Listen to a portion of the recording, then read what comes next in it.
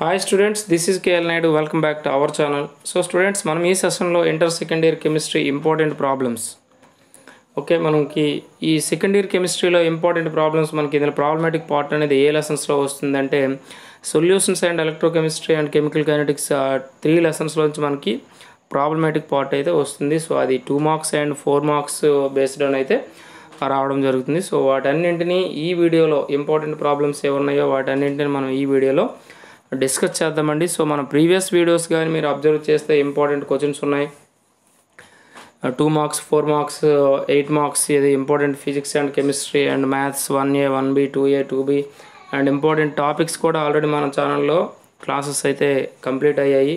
So అన్ని అన్ని videos అయితే మన ఛానల్లో ఉన్నాయి. మీరేం చేస్తారంటే మన ఛానల్లోకి ఎంటర్ అయ్యేటప్పుడు ప్లేలిస్ట్ ఓపెన్ చేస్తే మీకు అన్ని ప్లేలిస్టులు ఖచ్చితంగా కనిపిస్తాయి. సో అలాగే ప్రాక్టికల్ ప్లేలిస్ట్ కూడా ఒకటి ఉంది. అది కూడా మీకు యూజ్ఫులే. సో మ్యాక్సిమం మీకు డిస్క్రిప్షన్లో లింక్ కూడా ఇస్తాను. మీరు అది చూడండి. ఎందుకంటే ప్రాక్టికల్స్ అనేవి జంబ్లింగ్ విధానంలో జరుగుతున్నాయి కనుక సో అవి మీకు హండ్రెడ్ పర్సెంట్ అయితే యూజ్ఫుల్ అవుతాయి. సో ఖచ్చితంగా వాటిని మీరు ఫాలో అవ్వండి. ఓకే గైస్ సో మరి ఈ వీడియోలో ఈ ఇంపార్టెంట్ ప్రాబ్లమ్స్ డిస్కస్ చేద్దాం. మరి వీడియోలోకి ఎంటర్ అవుదామండి.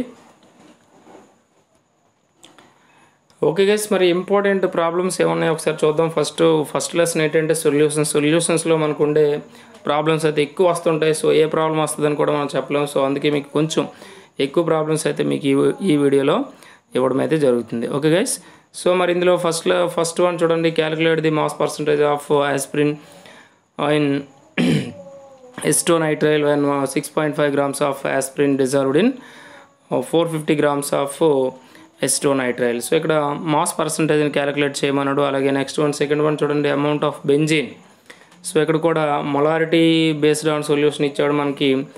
Um, వెయిట్ని క్యాలిక్యులేట్ చేయమన్నాడు. అలాగే నెక్స్ట్ థర్డ్ వన్ చూడండి మోల్ ఫ్రాక్షన్ క్యాలిక్యులేట్ చేయాలి మనకి. ఈ ఫస్ట్ త్రీ ఏమో టూ మార్క్స్కి రావడానికి ఎక్కువ అయితే ఛాన్స్ అయితే ఉంటుంది. ఓకే నెక్స్ట్ ఫోర్త్ వన్ చూడండి. A solution of sucrose in water labelled as ten percentage W by W W by W means weight by weight అని చెప్పుకుంటాం. సో సింపుల్గా ఇటువంటి వాటికి మనకి వెయిట్కి అంటే సొల్యూట్ అండ్ సాల్వెంట్ మనం తెలుసుకోవాలనుకుంటే ఇందులో ఏదైతే మనకు పర్సంటేజ్ ఇచ్చాడో అది సొల్యూట్ యొక్క వెయిట్ అవుతుంది. అంటే రిమైనింగ్ హండ్రెడ్ పర్సెంట్కి ఇంక ఎయిటీ ఎయిటీ పర్సెంటేజ్ ఉంటుంది కదా. సో అది వాటర్ అయితే అవుతుంది ఇందులో. సో అలాగ మీరు తీసుకొని మోల్ ఫ్రాక్షన్ క్యాలిక్యులేట్ చేయాలి. మోల్స్ క్యాలిక్యులేట్ చేశాక మోల్ ఫ్రాక్షన్ క్యాలిక్యులేట్ చేయాలి.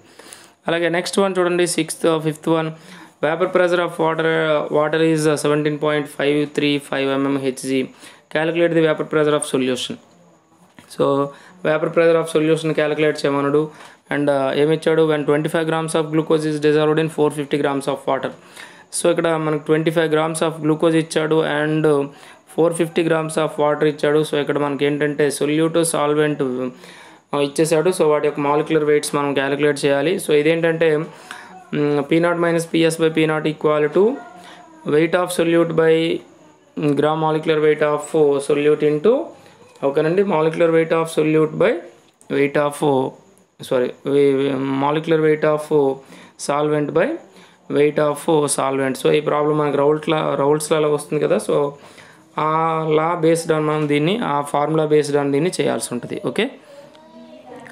నెక్స్ట్ వన్ చూద్దామండి. నెక్స్ట్ వన్ ఏంటంటే sixth one if the osmotic pressure of glucose solution one point five seven bar at three hundred K what would be its concentration if R equal to zero point zero eight three litre bar mol inverse so మనకు osmotic pressure formula తెలుసు కదండి. So దాని based on మీరు మనం ఇది చేయాలండి. Okay okay next one seventh one చూడండి. Calculate the mole fraction of ethylene glycol ఈ solution containing twenty percentage of C two H six O two by mass okay so ఇక్కడ కూడా mole ఫ్రాక్షనే calculate చేయాలి. సో అక్కడ percentage ఇచ్చాడు. So percentage ఇచ్చేటప్పుడు మీకు ఎలా క్యాలిక్యులేట్ చేయాలో చెప్పాను సో దాని బేస్డ్ అని మీరు ఫాలో అయిపోతే సరిపోతుంది. ఓకే నెక్స్ట్ uh, చూద్దామండి. నెక్స్ట్ ప్రాబ్లం చూద్దాం.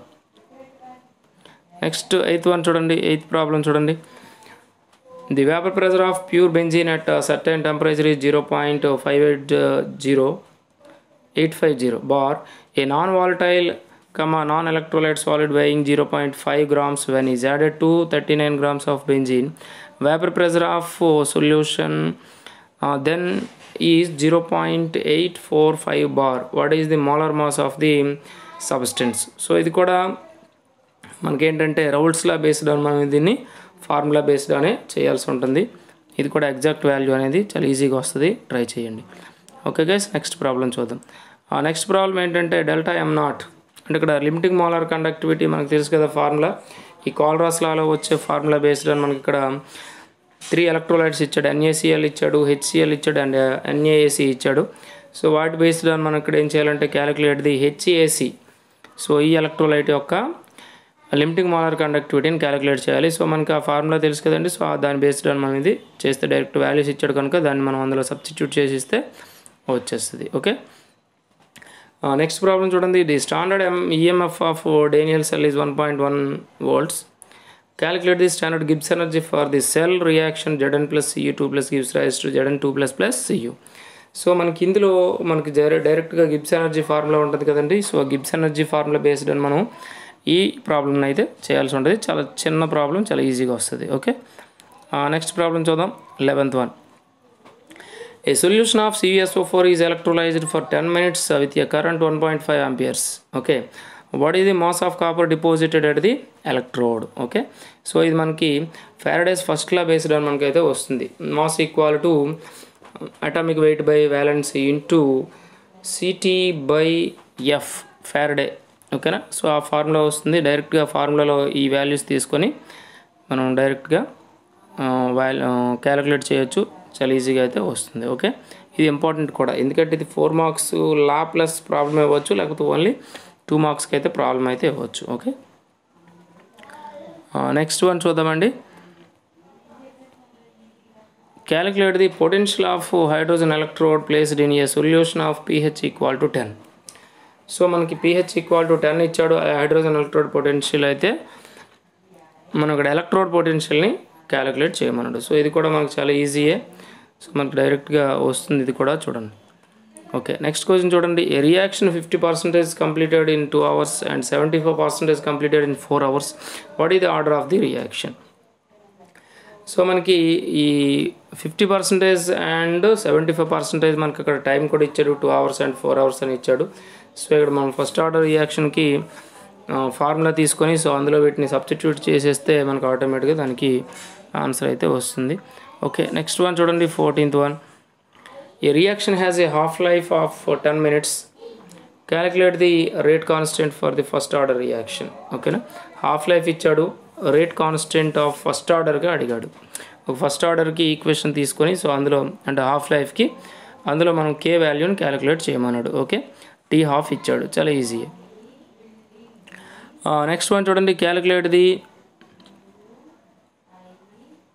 calculate the half life of uh, first order reaction whose rate constant is uh, 200 second inverse okay half లైఫ్ని క్యాలిక్యులేట్ చేయమన్నాడు ఓకే ఫస్ట్ ఆర్డర్ రియాక్షన్లో రేట్ కాన్స్టెంట్ వాల్యూ ఇచ్చాడు. T హాఫ్ని calculate చేయాలి వాడు అక్కడ కే వాల్యూ ఇచ్చాడు ఓకే నెక్స్ట్ వన్ చూడండి.